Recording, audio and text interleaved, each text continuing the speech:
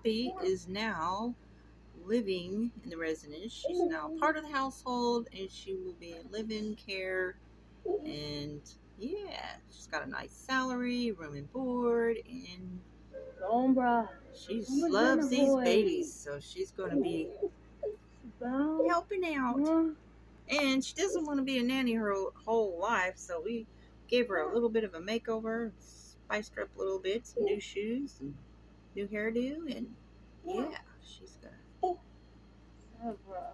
have babies of her own sometime in the future. It's time for the babies to be aged up. Ariana is right here, and this is Lovey.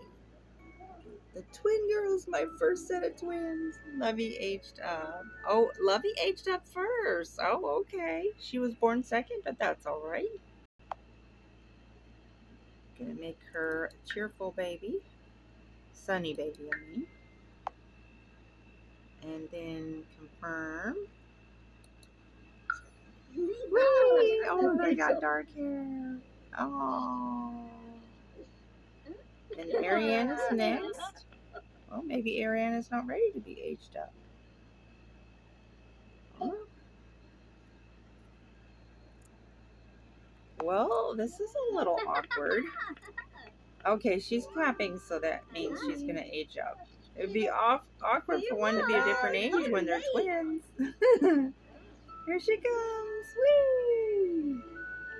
Ariana aged up. Ariana was born first. Okay.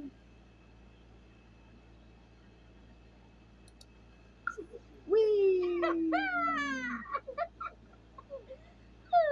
What fun.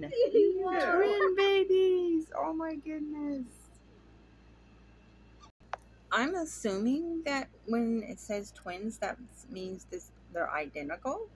But I think she looks a lot like her mom. She's got those really high cheekbones. But uh, yeah, I could see her look a little bit like Peter too. That's so cool how they do that. So that's this is Levy. I can't tell if they're identical or fraternal. I mean, they. I can't tell. I'll have to get them in CAS mode and see what they look like up close. But I think they're identical twins.